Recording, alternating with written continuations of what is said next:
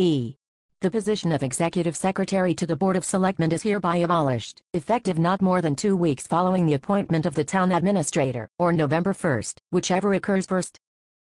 The Executive Secretary may be a candidate for the office of Town Administrator, but nothing contained in the Charter shall be deemed to grant to the incumbent of said office at the time the Charter is adopted, a right to assume automatically such office.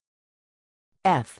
Until such time as another provision is made by, by law, in accordance with the requirement of Section 2-3, the fall session of the town meeting shall be held on the third Tuesday of October, annually. G. Until such time as another provision is made by, by law, the following additional requirements of publication shall apply to the notice of vacancy provisions of Section 7-8. Publication. In addition to the posting on town bulletin boards, required by Section 7-8 of the Charter, the appointing authority shall cause to be published in a local newspaper. A notice of any such vacancy, or impending vacancy, at least two weeks prior to the date on which action is taken to fill the vacancy. Wareham Charter Commission. Wareham, Massachusetts Minority Report submitted by Elizabeth M. Carmichael.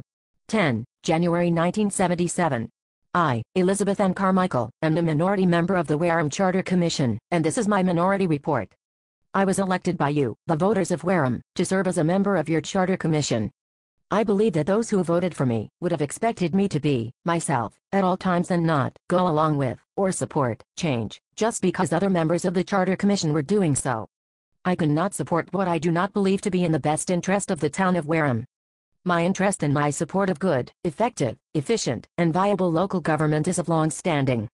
I did not come to serve as a member of this commission unacquainted with the structure of our town's government, and the way in which it has functioned. I have served the town of Wareham in a number of capacities as a member of various boards, commissions, and committees. I have been involved in discussion, debate, and determination of many issues affecting our town over a long period of time. I have attended Cape Cod Community College towards my degree in local and state government. I believe my background, experience, and education have given me a frame of reference in which to judge, to evaluate, and to choose among several alternative courses of action, which were available, but not considered, by the Charter Commission, for the future structure of Wareham's government. In addition to attending virtually all of the Charter Commission meetings, I spent, on the average, 15 hours each week in outside research and study, I wish I could say all of this time and effort was well spent, and that I could recommend you, my fellow citizens, adopt the charter. Regretfully, I cannot. In my judgment adoption of this proposal would be a negative, rather than a positive act for the good of the town. It would represent a step backward rather than forward. I am pleased that I participated in the weekly deliberations of the Charter Commission, because many ideas I fought for are included in the Charter. I would specifically point to much of the material in Article 5, regarding town budgets, I believe that giving the Finance Committee more time to consider warrant articles can only be a positive force.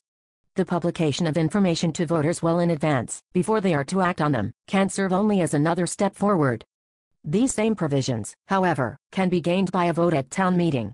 We do not have to accept the charter to move forward in this area, to improve our town government. I am also pleased that a provision to recall our elected officials who have lost the confidence of the voters has been included.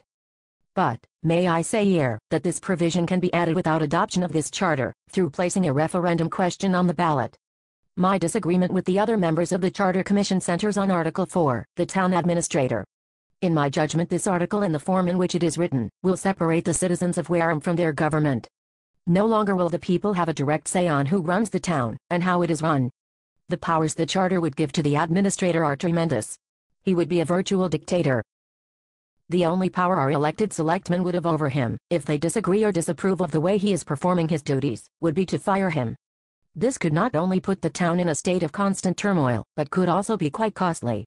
If the selectmen saw fit to discharge him, this charter proposal could cost the taxpayers 45 days' pay after his dismissal, and could exceed up to three months.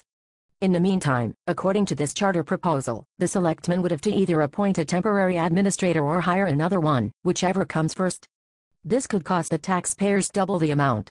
I have spent a considerable amount of my own time examining and evaluating this most important aspect of our town government structure. I have interviewed our own selectmen, I have looked closely at the governmental structure of our sister town of Bourne, I listened to many intelligent, knowledgeable guest speakers from many different facets of government, all of whom have been involved in one form or another for a great length of time.